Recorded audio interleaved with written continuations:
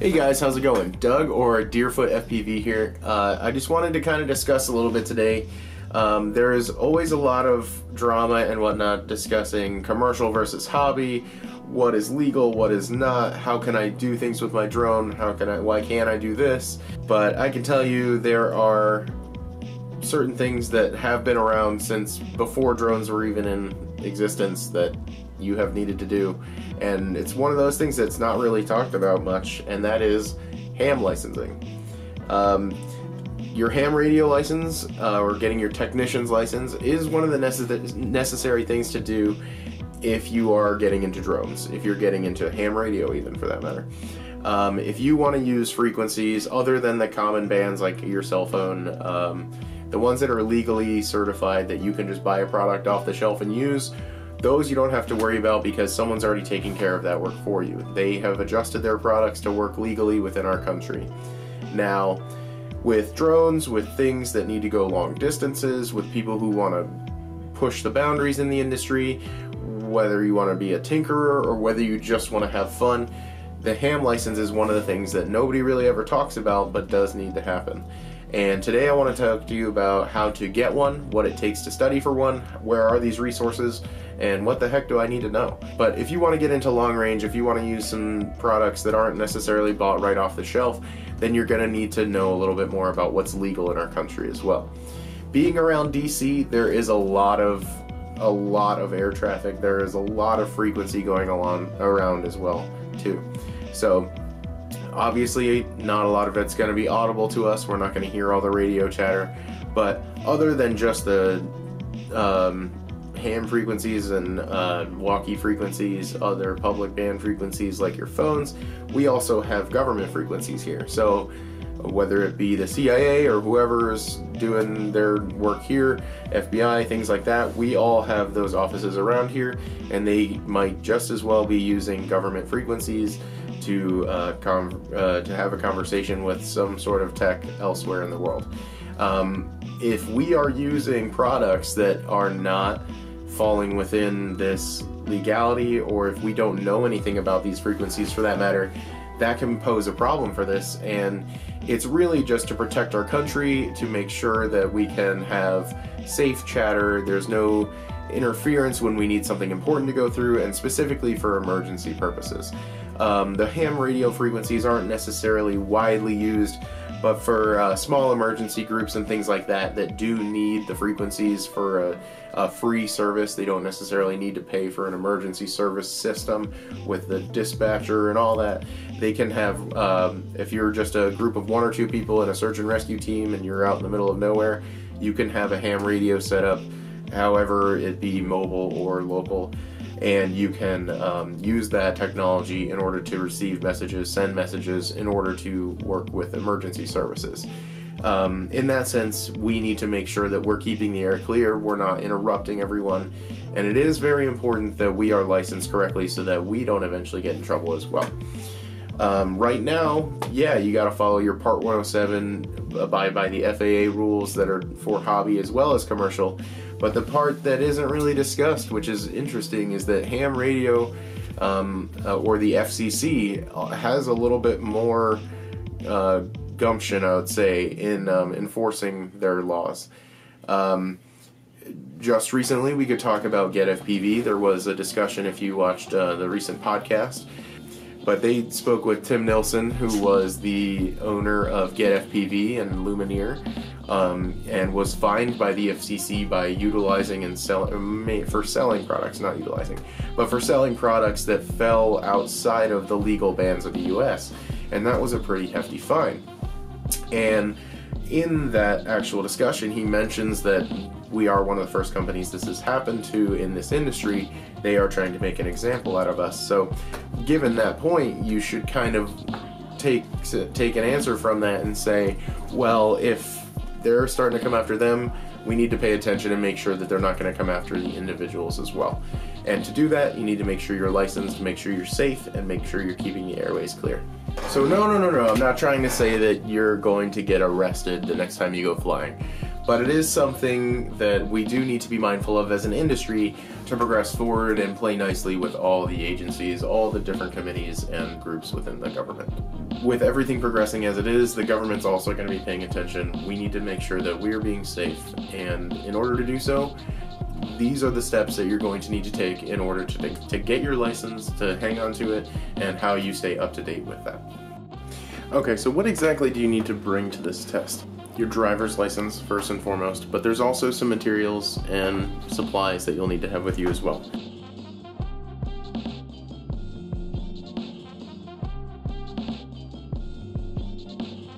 before it comes time for the test, you need to actually uh, register for what's called an FRN, and that is basically a mock number or a FCC number, identification number, that they give you um, so that you don't have to give the license or the, the uh, exam proctor uh, your social security number. Uh, apparently that used to be part of the process and now it's not. So you have to go online and physically register it for register for it for yourself. It's pretty easy to find. If you search FCC FRN registration, you will find it pretty much immediately. It is the first link that pops up on Google. But uh, basically, you click on the link, you go through that, and it will have you put in some basic information. It is a free process, and uh, once you hit submit, um, after putting in your basic information, it will give you the FRN number. Um, that is, I believe, a permanent number. You don't have to worry about changing it, and you will always be registered through the FCC with that number. Uh, keep this paper printed out. Make sure you save a screenshot of it if you can as well. But basically, this will allow you to go to the test and show them your registered ID number to say, I am with the FCC. I'm ready to do this. All right, so one of the biggest resources that you're going to find for ham licensing, ham radio in general, is the ARRL, or the American Radio Relay League, which is an organization that is everything ham radio. If you need products, if you need seminars, if you need classes, if you want to meet people, basically the same thing for drones. There's an industry for us, there is an industry for ham radio. There's a lot of people that love uh, talking to people across the world um, and just having the equipment to do so. Uh, it's some of it's very technical with learning about antennas and how to bounce your um, your uh, transmission through the ionosphere to land somewhere else across the world. There's lots of cool, interesting, nerdy things that you can learn about it if you're interested. Uh, but for the most part, all of us are going to be doing it for drones, and that's what you'll be researching. So go to arrl.org. That's going to be the main site for them. That's where you'll find everything about classes and um, study sessions, study materials, as well as signing up for tests and informations about finding tests.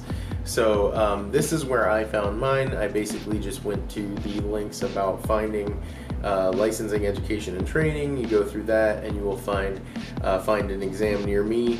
I found an, uh, an exam within a couple of weeks. I hadn't studied one single bit, and I basically just cranked it out. I made sure to put a bunch of time aside and um, study as hard as I could for the test, keep taking practice tests over and over and over.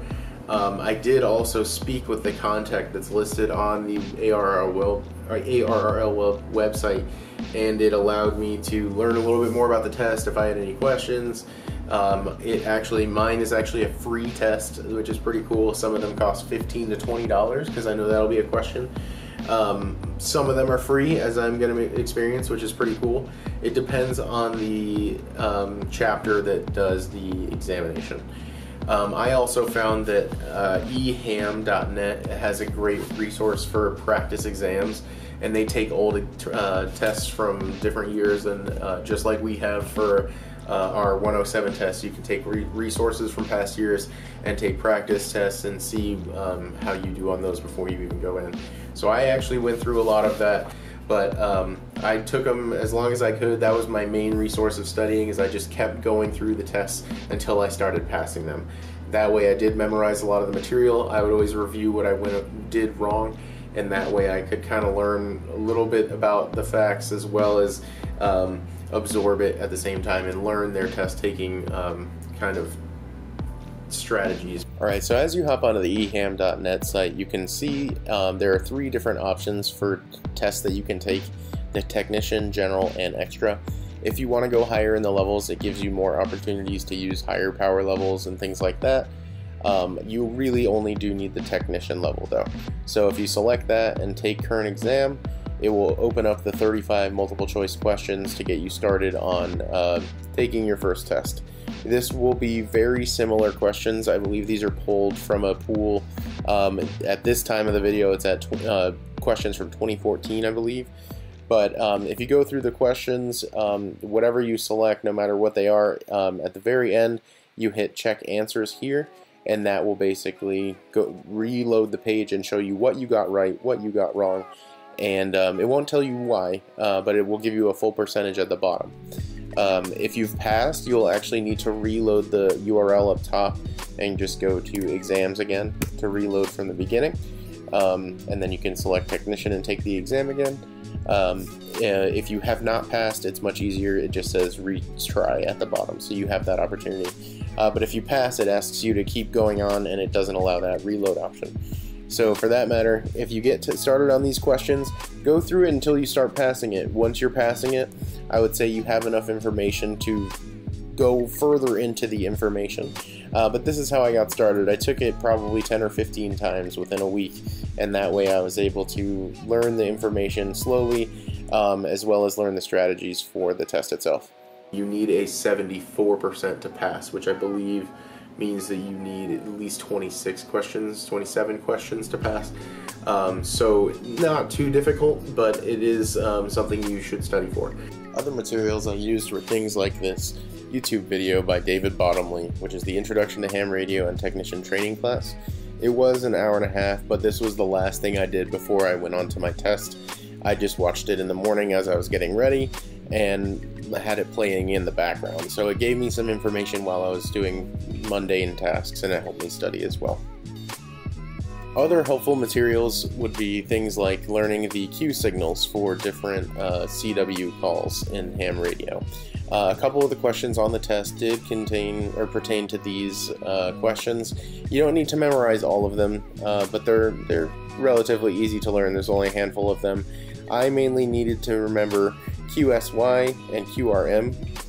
QRM is, is my transmission being interfered with, signal interference, and QSY, which I believe is shall I change my frequency um, or change your frequency. So these are just abbreviations to make um, the changing of communications faster.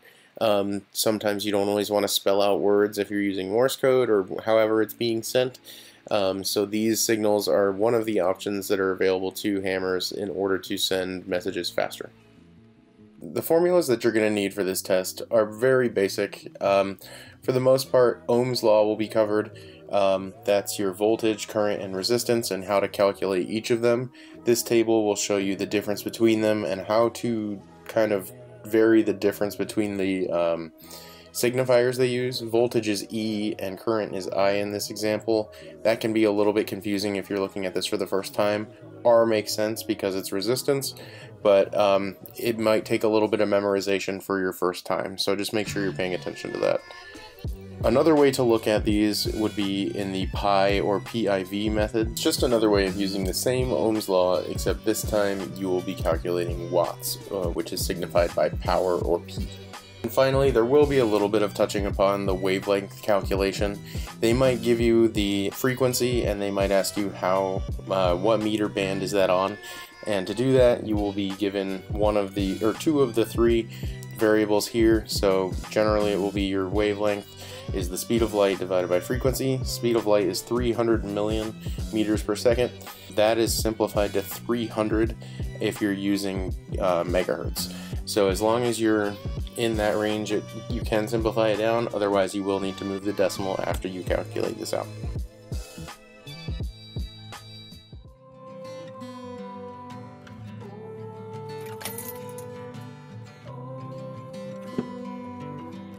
Okay guys, we're gonna go uh, take our ham test. Um, put it into the GPS. We'll uh, just go down to, oh, my town here is to be Alexandria for my exam, but we'll see how it goes.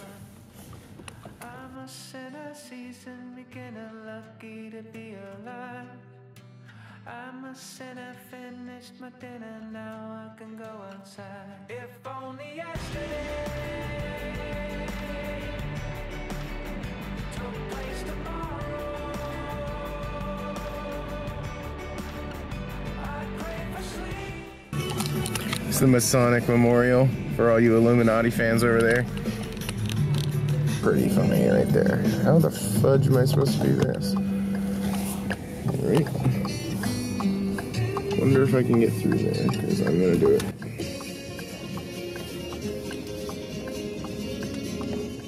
Oh yeah! We are in Old Town Alexandria, and I am two minutes away from the test site. Alright, so I have arrived at the test location. Um, it is like at a back side of a church. So I'm gonna go take my test. Wish me luck, guys. Two hours later. Alright guys, so it's raining outside right now, so I'm kind of limited on the video I can take, but um, I just finished with my ham test and I passed. Pretty pumped. Um, so I'm officially good to go. I have like two days or so where I actually need to um, wait for it to be registered on the website. But for the most part, um, guys, this is how you do the process. This is how you get it done. Um, if you guys have any questions, let me know. I'm happy to help you out. So, Okay, so now that you're done with your ham test, you do um, need to wait a couple of days, similar to the 107 exam. Basically, it just allows the paper time to get processed and everybody to put it into the system. But there is a website, the paper they give you tells you the website for the FCC that will give you the database of when to check and where to check, and that will basically be your signifier. Um, they don't issue paper licenses anymore, apparently, so you have to physically go print one out if you want the copy of it. Um, but after that couple of days, you're ready to go on air if you want to do actual radio work. Otherwise, you are set to start using um, more open bands within the um, technician uh, amateur license. Uh, if you want to go further than that, if you want to work on higher outputs or really work on big projects like that, uh, then you're going to need to either work towards a general license or even an amateur extra. Those are similar process. Uh, I think the general is another 35 question test. I actually was offered to take it, and I since I was there, I just decided to take it anyway, but I didn't pass. So I would come back and take that one again, and if I wanted to go a step above that, I would go for the amateur extra. So once you have that, it is going to be instated for 10 years. You will be able to hold on to that for a while and it would be in supplement to your 107 or your AMA license or your uh, FAA registration, whatever is going on with that at the time um, for the FAA for hobby use. So, um, depending if you're commercial or hobby, this is necessary for you. Um, if you want to use higher power bands, I believe you're only allowed to use like 100 milliwatts of power on your transmitter. So for you guys that are running 200 milliwatts, 600 milliwatts, you need to make sure you have a ham license Otherwise, eventually there could be the chance of fining you or other repercussions.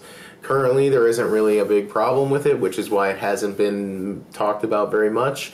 It's more so just a um, to make sure you're following all the rules. Let's let's do this correctly, and we already discussed why it's important for safety reasons.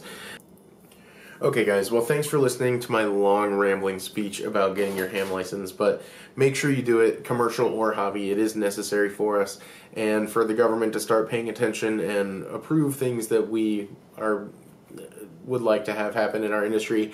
We need to make sure we're following all their rules as well. Uh, this being one of them, it's obvious they are starting to crack down on the business side of things. Let's make sure we have our end covered just so that we don't have any examples to give them.